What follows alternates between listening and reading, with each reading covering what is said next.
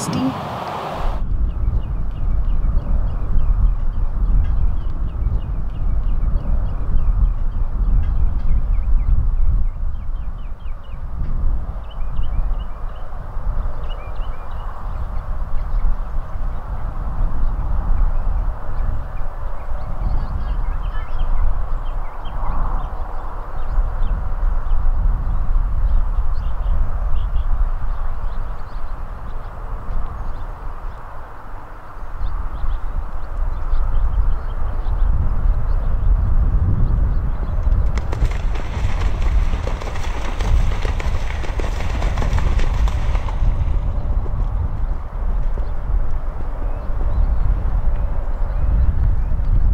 Next to go, this is Brianna Uhlmer and Angelo two.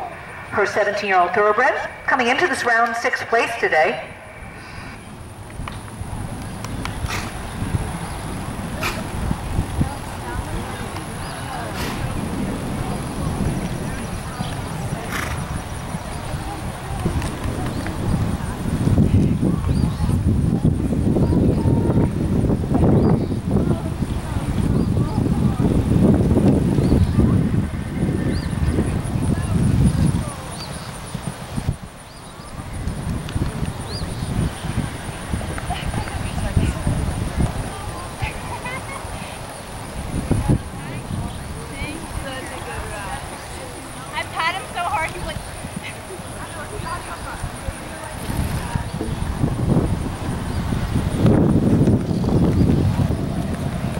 Ahem.